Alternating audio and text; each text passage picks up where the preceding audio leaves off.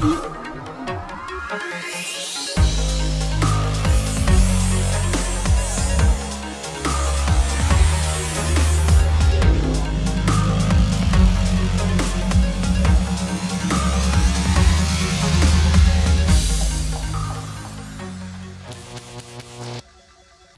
Pozdrav dragi terminalci, evo nas u 214. izdanju našeg i vašeg video magazina o digitalnim tehnologijama.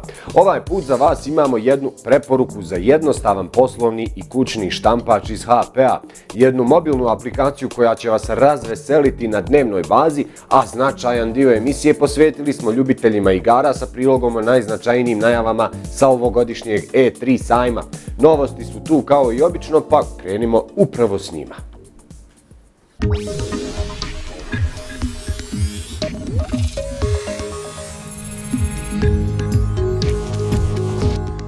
Nedugo nakon što su internetom počele kružiti glasine o Microsoftovoj novoj transakciji, iz Redmonda su izvanično potvrdili kako su kupili popularnu programersku platformu GitHub. Microsoft je za GitHub izdvojio čak 7,5 milijardi američkih dolara i očekuje se kako će akvizicija biti finalizirana do kraja godine. Iz Microsofta su istakli kako će GitHub nastaviti da radi kao nezavisna platforma te da će zadržati programerski etos. S druge strane, čelništvo Redmonda je već odabralo novog direktora GitHuba, pa će tako bivšeg direktora i jednog od suosnivača kompanije, Krisa Vanstrata, na toj poziciji zamijeniti bivši šef kompanije Xamarin, Ned Friedman, koji je izjavio kako ne planira tražiti povjerenje korisnika svoje nove platforme, već kako isto planira za rad. I dok sve veći broj kompanija iz nekog razloga žuri da kopira Apple sa njihovim urezom za kameru na ekranima svojih telefona, kineska kompanija Vivo je nedavno predstavila svoj novi flagship, čiju kompletnu prednju stranu krasi ekran bez ikakvih ureza i vidljivih ivica.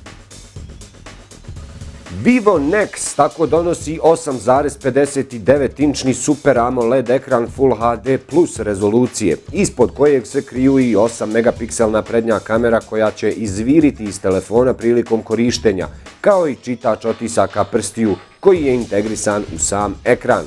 Što se tiče konkretnog hardvera, Vivo Nex donosi Snapdragon 845 chipset, 8 GB RAM-a, 256 GB memorije za pohranu podataka i bateriju kapaciteta 4000 mAh. Listu specifikacija zaokružuju 12 megapikselna dual kamera sa strežnje strane telefona i Android operativni sistem verzije 8.1.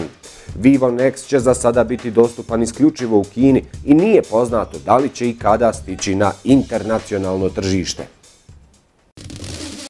Ljubitelji fizičkih tastatura na telefonima ovih su dana ponovo došli na svoje. Naime, kompanija TCL je krajem prošle sedmice predstavila Key 2, najnoviji BlackBerry uređaj sa klasičnom BlackBerry tastaturom. Kao i njegov prethodnik Key 1, Key 2 donosi ekran sa omjerom strana od 3 naprema 2 ispod kojeg ćete pronaći fizičku tastaturu. Sam ekran krasi dijagonala od 4,5 inča i rezolucija od 1080 puta 1620 piksela, dok ostatak specifikacija uključuje još Snapdragon 660 chipset, 6 GB RAM-a i 64 odnosno 128 GB memorije za pohranu podataka, ovisno od odabranog modela. Najveći novitet u odnosu na Key 1 je svakako 12 megapikselna dual kamera sa zadnje strane telefona koja kombinuje regularni sa telefoto senzorom, zahvaljujući kojem možete očekivati kvalitetan optički zoom i portret fotografije sa defokusiranim pozadinama. BlackBerry Key 2 u prodaju stiže već ovog mjeseca po cijeni od 649 eura. A znate onu staru narodnu ogledalce, ogledalce, odgovori mi na pitanjce. Pitanje u rubrici da li znate glasi, da li znate koji telefon nosi titulu najpopularnijeg na svijetu? Saznaćete na kraju emisije. Štampači sa vanjskim spremnicima za tintu danas više nisu nikakva novost. Nakon nekoliko uređaja iz Epsona koji koriste ovakav sistem protoka tinte umjesto klasičnih ketridža, do nas je došao i jedan model iz HP-a. Riječ je o HP Ink Tank Wireless 415 uređaju.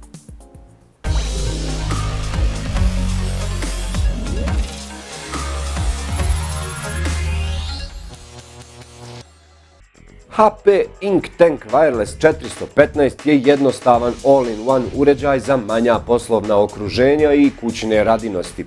To znači da osim klasičnih funkcija štampača, ovaj uređaj posjeduje i skener. Pomalo jajasno kućište crne boje na sebi nema nikakvih viška ili nepotrebnih detalja, osim produžetka za koji se veže ono što smo spomenuli u uvodu. Riječ je o vanjskim spremnicima za tintu koji prije svega omogućavaju čuvanje veće kapaciteta tinte od običnih ketriđa te isto tako pojednostavljuju proces punjenja, ali i ono što je najbitnije, značajno pojeftinjuju cijenu odštampane stranice. Ovdje treba biti pažljiv kod punjenja jer pogrešno sipanje boje u neodgovarajući spremnik sigurno će vas skupo koštati. Obzirom da je sve označeno bojama, šanse za slučajnu grešku su jako male. Standardno punjenje dovoljno je za 8000 stranica u boji ili do 6000 crno-bijelih stranica sa HP-ovom bočicom crne tinte. Treba dodati da se uz štampač isporučuju dvije duple bočice crne tinte, što znači da ćete sa osnovnim paketom biti u mogućnosti odštampati preko 12.000 crno-bijelih stranica. Kao i svaki AIO uređaj, pored štampanja svojim korisnicima nudi i skeniranje te fotokopiranje. Štampač posjeduje i wireless mrežnu karticu, pa osim USB konekcije, dokumente na štampanje možete slati i bežično. Postoji mogućnost štampanja sa mobilnih uređaja pomoću odlične i vrlo jednostavne HP Smart aplikacije, koja može povlačiti dokumente i sa nekog od vaših mjesta u oblaku poput Google Drive-a ili Dropboxa. Možda jedini nedostatak je USB ili port za direktno štampanje sa memorijskih kartica, ali to nije toliko značajno obzirom na laganu upotrebu mobilnih uređaja. Uz mali statusni LCD kontrole i rukovanje uređajem vrlo su jednostavne i za manje iskusne korisnike. Brzina štampe uklapa se u neki prosjek pa sa četiri kombinovane strane grafike i teksta odštampane u minuti sasvim je dobar rezultat za kategoriju u kojoj pripada. Kvalitet štampe za jedan poslovni štampač ili kućne potrebe je odličan, a naglasak definitivno treba staviti na štampanje fotografija. Za najbolje rezultate definitivno treba koristiti poseban fotopapir, a rezultati su uporedivi sa izradom fotki u nekom fotostudiju. Na kraju svega treba dodati i njegovu vrlo atraktivnu i povoljnu cijenu, pa ukoliko razmišljate o nabavci nekog jednostavnijeg štampača za kuću ili posao, razmislite i bacite oko na HP Ink Tank Wireless 415 uređaja.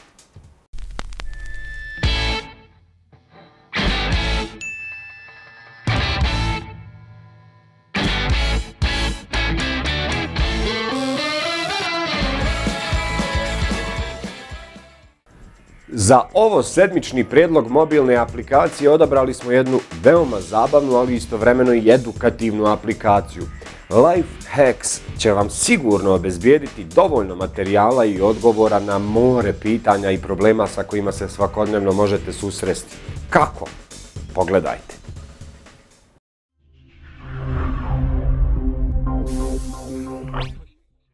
Sigurni smo da ste bar jednom negdje u internet bespućima naletili na kratke jednostavne trikove i cake kako da neke stvari svakodnevnice učinite malo jednostavnijim i lakšim.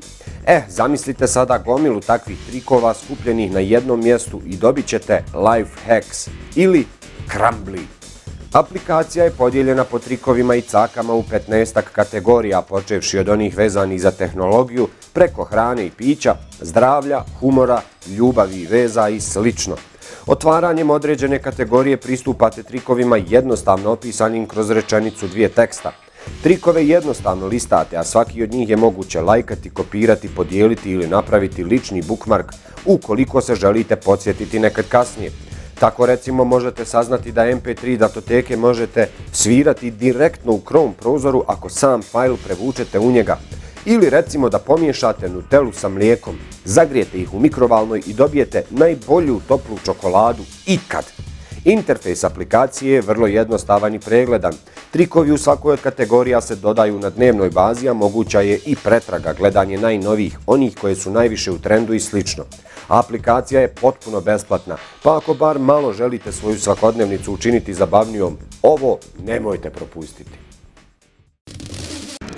Nakon što smo proteklih nekoliko godina za vas pripremili više manje klasične preglede velikih E3 pres konferencija, ovaj put smo se odlučili za nešto drugačiji pristup našem prilogu sa najvećeg gaming sajma na svijetu. Stoga u nastavku za vas izdvajamo pet naslova koji su nas proteklih dana posebno oduševili.